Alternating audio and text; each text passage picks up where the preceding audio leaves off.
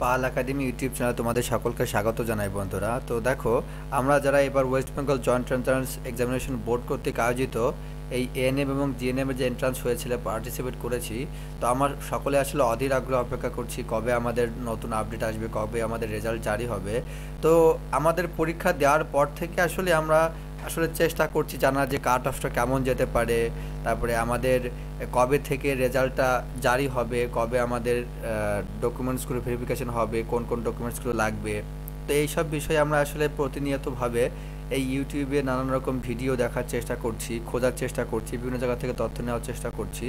তো দেখো বন্ধুরা, আমাদের কিন্তু একটা সুখবর এর কিছুদিন আগে আমি তোমাদের দিয়েছিলাম যে আমাদের যে ওয়েস্ট বেঙ্গল নার্সিং যে কাউন্সিল রয়েছে, সেখান থেকে কিন্তু বেশ কিছু নতুন ইনস্টিটিউটকে অনুমোদন দেওয়া হয়েছে। কিছু সরকারি এবং কিছু বেসরকারি সেক্ষেত্রে দেওয়া হয়েছে। তো যারা আসলে আমরা সরকারি কলেজে জিএনএম বা এনএম পড়ার জন্য আগ্রহী বা আমরা পড়তে চাইছি, তাদের জন্য যেমন সুখবর রয়েছে, তেমনি যারা প্রাইভেট কলেজে পড়তে চাইছো, তাদের জন্য কিন্তু বেশ সুখবর রয়েছে। কারণ আমরা জানি যে আমাদের এই পশ্চিমবঙ্গ থেকে অনেক ছাত্রছাত্রী, শিক্ষার্থী কিন্তু এই আমাদের পশ্চিমবঙ্গ ছেড়ে বাইরের বিভিন্ন স্টেটে কিন্তু এই জিএনএম বা এনএম এই বা বিএসসি নার্সিং পড়ার যেয়ে থাকে। তো সেখানে কিন্তু যে পড়াশোনা অনেক সময় আমরা ধোকার সম্মুখীন হই যে না, আমাদের সঠিক কলেজে আমরা পড়তে পারি না, ভর্তি ভর্তি হতে পারি না। যার কারণে কিন্তু আমাদের ক্যারিয়ারের সমস্যাটা হয় বা অনেকগুলো টাকা কিন্তু আমাদের মানে জলে চলে যায়। তো সেই বিষয়টা কিন্তু মাথায় রেখেই পশ্চিমবঙ্গ সরকার আমাদের মাননীয় মুখ্যমন্ত্রী ঘোষণা করেছিলেন যে নার্সিং এএনএম এবং জিএনএম সকল ক্ষেত্রে আসলে সিট সংখ্যা বাড়ানো হবে। তো প্রাইভেট ক্ষেত্রে আসলে বাড়ানো হয়েছে আর সরকারি ক্ষেত্রেও এএনএম এর ক্ষেত্রেও কিন্তু বেশ কিছু বাড়ানো হয়েছে। যেটা তোমরা পূর্বের কয়েকটি নোটিশের মাধ্যমে নিশ্চয়ই দেখতে পেয়েছ। আমি যখনই এটার আপডেট দিয়েছিল তোমাদের সকলকে আমি জানিয়েছি বা দেখিয়েছি যে কোথায়, কোন জেলায় কতগুলো ইনস্টিটিউট বাড়ানো হয়েছে। তো দেখো, আমি তোমাদের যে এই এই যে লিস্টটা বেরিয়েছিল লিস্টটা বেরিয়ে বেরোনোর আগেই কিন্তু আমাদের একটা কার্ট অফ আমরা আসলে যারা এই সব সম্পর্কে খোঁজ খবর নিচ্ছিলাম বা রাখছিলাম, যারা পরীক্ষা অংশগ্রহণ করেছে, বন্ধু বান্ধব, অনেক বোন, ভাই, এদের কাছে আসলে জানার চেষ্টা করেছিলাম যে তাদের এক্সাম কেমন হয়েছে ফার্স্ট শিফটে শিফটে কেমন হয়েছে সেকেন্ড শিফটে কেমন হয়েছে, সেটা নিয়েই কিন্তু আমি পূর্বে একটা কাট অফ তোমাদের ধারণা দেওয়ার চেষ্টা করেছিলাম যে এক্সপেক্টেড কাট অফটা এরকম যেতে পারে। তো দেখো, যেহেতু সিট সংখ্যা, আসন সংখ্যা অনেক বেড়েছে, বেশ কিছু জায়গা অনেক বেড়েছে। আমাদের অনেক ইচ্ছা আছে প্রাইভেট যে পড়তে পারি বা সামর্থ্য আছে। তাদের ক্ষেত্রে কিন্তু আমি মনে করি যে আসলে কাট অফের বিষয়টা কিন্তু আসলে একটু ভ্যারি করবে। কেননা পূর্বের কাট অফ থেকে কিন্তু কিছুটা কমবে বলে আমি আশা রাখছি। তো সেই দিকে ধারণা রেখে কিন্তু আমি তোমাদের জন্য একটি নতুন কাট অফটা নিয়ে এসেছিলাম। তো আশা করি তোমরা ভিডিওটি প্রথম থেকে শেষ অবধি দেখবে। যদি তোমরা এর সঙ্গে আমার মতামতের সঙ্গে এক হও, ঠিক আছে? তো অবশ্যই আমাকে কমেন্ট বক্স জানাবে। আর যদি না হও, সেক্ষেত্রে তোমাদের কেমন এক্সপেক্ট করছ, সেটাও তোমার কমেন্ট বক্সের মাধ্যমে জানাবে। তো চলো আমরা আসলে দেখে নিই যে আমাদের এবার আসলে কাট অফগুলো কেমন হতে পারে। দেখো কাট অফ জানার ক্ষেত্রে কিন্তু আমাদের একটা বিষয় প্রথমেই মানে আমাদের ধারণা করতে হবে, জানতে হবে আসলে কাস্ট অফের যে বিষয়গুলো আসলে মূল ভূমিকা পালন করে কোন বিষয়গুলোতে কীভাবে আসলে কাট অফটা নির্ধারিত হয়। প্রথমেই এক নম্বর পয়েন্টে আমি তোমাদের রেখেছি যে মোট অংশগ্রহণকারী পরীক্ষার্থীর সংখ্যা, অর্থাৎ কেমন সংখ্যা স্টুডেন্ট আমাদের যে এক্সামটা দিয়েছিল, এখানে কতজন পরীক্ষার্থী অংশগ্রহণ করেছিল পরীক্ষাতে। তারপরে শিফট ভিত্তিক যে প্রশ্নের ধরনটি রয়েছে সেটা তারপরে টোটাল যে আসন সংখ্যা, আমরা তো জানি যে পূর্বে আসলে আঠাশশো নব্বইটি আসন ছিল, পরবর্তীতে বাড়ানো হয়েছে। আর তারপরে যে চতুর্থ পয়েন্টটি চলে আসবে নেগেটিভ অ্যাটেম্পট কেমন হয়েছে? অর্থাৎ কে কেমনগুলো টোটাল অ্যান্সার করেছে, তার মধ্যে কতগুলো নেগেটিভ আছে?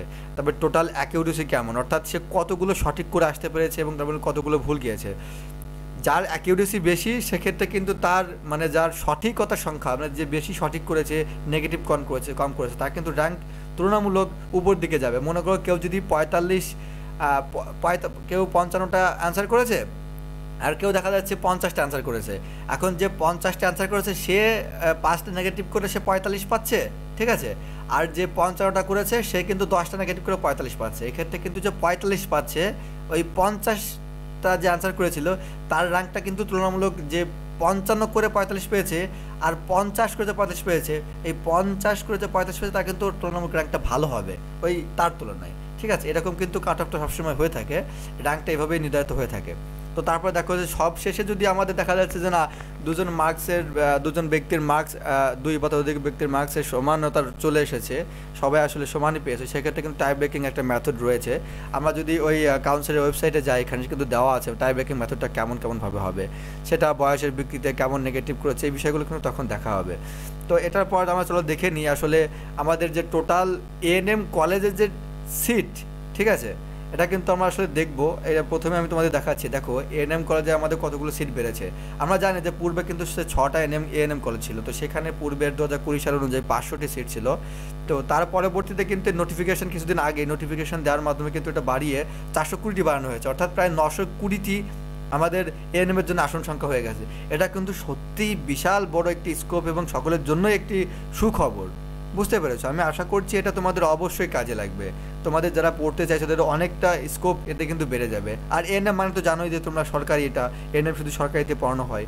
তো তারপরে দেখো আমাদের জিএনএম কলেজে কেমন সিট সংখ্যা বেড়েছে। তো মোট জিএনএম এর প্রিভিয়াসের সিট সংখ্যা ছিল প্রায় আঠারোশো নব্বই। তো সেক্ষেত্রে আসলে আর একটা কলেজে শুধুমাত্র আমি যে লিস্টটা আছে, সেখানে দেখলাম, খুঁজে দেখলাম একটা কলেজ আর তো শুধুমাত্র আছে, জেনার জন্য সেখানে নতুন অনুমোদন পেয়েছে, অর্থাৎ সরকারি কলেজ এবার পঁয়ষট্টিটা সিট সেখানে বাড়ানো হয়েছে। তো টোটাল গড়ে উনত্রিশশো পঞ্চান্নটি সিট হয়েছে। তো এই কম বেশি হতে পারে, তোমরা যদি লিস্টটা চেক করো, তাহলে তোমরা আরও বেশি খুব ভালো করে দেখতে পারবে। আর সেক্ষেত্রে কিন্তু আমাদের একটি বিষয় মাথায় রাখতে হবে জিএনএম এর ক্ষেত্রে শুধু প্রাইভেট কলেজগুলোতে কিন্তু আসন সংখ্যা সব থেকে বেশি বাড়ানো হয়েছে, বুঝেছ? তো প্রাইভেটের ক্ষেত্রে কিন্তু স্কোপটা সব থেকে বেশি। তো তারপরে যে আমাদের আসলে এই অবশ্যই বিষয়টি মানা রাখতে, মাথায় রাখতে হবে যে আমাদের যে টোটাল পরীক্ষার্থীর সংখ্যা কত ছিল। তো আমি এটা ধারণা করেছিলাম যে গতবারও যেরকম ছিল, ধারণা করেছিলাম, এবারও তার পরিবর্তন আসলে কোনো সম্ভাবনা নেই। তো এক লক্ষ কুড়ি হাজারের মতো, অর্থাৎ এখানে প্লাস মাইনাস কুড়ি হাজার বা দশ হাজার হতে পারে। তো তোমরা সেটা নিশ্চয়ই জানো, বুঝতে পারছ। কারণ তোমাদের যে এক্সামিনেশন সেন্টার তোমরা নিজেরাই পরীক্ষা দিয়েছ। তো তারপরে দেখা যাক, এবার আসলে জিএনএমে মেলদের জন্য যে কাট অফটা আছে, আসলে এখানে আমি খুব একটি হেরফের করতে চাইছিলাম না, কারও করার কোনো সুযোগটা নেই। কেননা, এই জিএনএম এর বিষয়টি রয়েছে, যাদের মেল এদের কিন্তু আসন সংখ্যা খুবই কম কলেজও কম। যদিও আমাদের এখানে নির্দিষ্ট করে বোঝা যাচ্ছে না যে নতুন লিস্টটা বেরিয়েছে, সেখানে কোনটি ছেলেদের জন্য পার্টিকুলারলি যে গভর্নমেন্টটা বেরোচ্ছে, কোন আসলে এবার পূর্বে যে সিটগুলো আছে সেখান থেকে বাড়ানো হবে কি না তো সেটা আসলে পুরো ফাইনাল যে গাইডলাইন আসবে সেটা আসলে পরে কিন্তু জানা যাবে। দেখো, আমরা কিন্তু জানি যে পিডাব্লিউ যে ভেরিফিকেশান পিডাব্লিউডি যারা ক্যান্ডিডেট হচ্ছে তাদের কিন্তু ভেরিফিকেশান অলরেডি শুরু হয়ে গেছে। নয়, দশ এবং তেরো, চোদ্দ তারিখে কিন্তু তাদের ভেরিফিকেশান ডেট রয়েছে। তো চৌদ্দ তারিখে যখনই ওদের ভেরিফিকেশন শেষ হবে, আমি আশা করছি ভেরিফিকেশন শেষ হওয়ার দুই থেকে তিন দিনের মধ্যেই কিন্তু রেজাল্টটা আসলে বেরিয়ে যাবে, বেরিয়ে যাওয়ার সম্ভাবনা রয়েছে, ঠিক আছে? তো সেক্ষেত্রে এবার চলো আমরা দেখে নিই যে পরবর্তীতে আমাদের যে পরিবর্তনটা আসলে হবে, আমি আশা করছি মেল ফিমেলদের ক্ষেত্রে কিন্তু পরিবর্তনটা হবে। তো সেখানে কিন্তু আমরা দেখতে পাচ্ছি যে জেনারেল যে ক্যান্ডিডেটদের জন্য রেখেছি, আমি ফোরটি সিক্স প্লাস এটা কিন্তু জিএনএমের জন্য, ঠিক আছে? তো forty six plus minus two এটা তোমার এটাই করেছি আমি। আর এসসি ক্যান্ডিডেটের জন্য forty two OBC A forty three OBC B forty four হ্যাঁ ইডাব্লিউএস ফর্টি ফাইভ এসটি এবং পিডাব্লিউডির জন্য রয়েছে পঁয়তাল্লিশ থার্টি ফাইভ প্লাস পিডাব্লিউদের জন্য শুধুমাত্র একটু যে জানোই তো তোমরা ওখানে মাত্র মানে ওদের শুধুমাত্র একশো উনপঞ্চাশ জনই ক্যান্ডিডেট রয়েছে। যাদের ভেরিফিকেশন হবে তাদের ভেরিফিকেশন যাবে, তাদের মধ্যে কিন্তু আসলে র্যাঙ্কটা হবে। তো তারপরে দেখো আর এএনএম এর ক্ষেত্রে ফিমেলদের সেখানে কিন্তু কাট আপটা সব থেকে বেশি কমে আসছে বা বেশি কমার একটা সম্ভাবনা রয়েছে যেহেতু সিট সংখ্যা আসলে বেড়েছে। তো তোমরা আসলে দেখলেই কিন্তু বুঝতে পারছ যে জেনারেল ক্যান্ডিডেটের জন্য চুয়াল্লিশ কাট অফ আমি এক্সপেক্ট করছি। এসসি ক্যান্ডিডেটের জন্য forty one OBC A forty one point five এগুলো আমি আসলে খুব একটি কমাইনি। সেক্ষেত্রে কিন্তু এই তোমাদের আর একটু পরবর্তীতে যার সঙ্গে মূলত দেখতে পাবো। দেখো এএনএম কাট অফ না এটা হচ্ছে তোমাদের মানে গত যে আমি ভিডিওটা দিয়েছিলাম, সেখানে কিন্তু এই কাট অফটি ছিল, ঠিক আছে? তো তারা পরিবর্তন করার পর আমি আসলে মনে করছি না এরকম আসলে কাট অফ যাবে। তো জেনারেল ক্যান্ডিডেটের ক্ষেত্রে ফর্টি থ্রি এসসিদের জন্য থার্টি এইট ওবিসি এর জন্য ফর্টি ওবিসি বি এর জন্য ফর্টি ওয়ান ইডাব্লিউএস জন্য ফর্টি টু এসটি এবং পিডব্লিউ জন্য থার্টি ফাইভ প্লাস তো এটাই, আসলে এর থেকে বেশি আসলে কম বেশি হওয়া উচিত না। সেক্ষেত্রে তুমি ম্যাক্সিমাম গেলে প্লাস টু বা মাইনাস টু এর এরকম, এরকমই হবে। আশা আমরা কখনোই কিন্তু এটা এক্সপেক্ট করব না যে প্লাস ফাইভ বা প্লাস সেভেন খুব একটা হেরফের হোক। আমি আশা করছি এর থেকে বেশি হেরফের হবে না। তো আশা করব তোমরা আসলে ভিডিওটি প্রথম থেকে শেষ অবধি দেখেছ। তো যারা অপেক্ষা করছ এবং কবে রেজাল্ট জারি হবে, তো তাদের আমি রিকোয়েস্ট করব তোমরা অবশ্যই আমার চ্যানেলটিকে সাবস্ক্রাইব করে নোটিফিকেশান বাটনটি অন করে লাইক দিয়ে তোমার সাথেই থেকো। তো আমি যখনই কোনো নতুন আপডেট আসবে তোমাদের আমি জানিয়ে দেবো। তো ভিডিওটি ভালো লাগলে অবশ্যই লাইক দিও। তো তোমাদের সকলের শুভকামনা যে সকলের সকলের জন্য শুভকামনা জানিয়ে আমি আজকে ভিডিওটি শেষ করছি। ধন্যবাদ।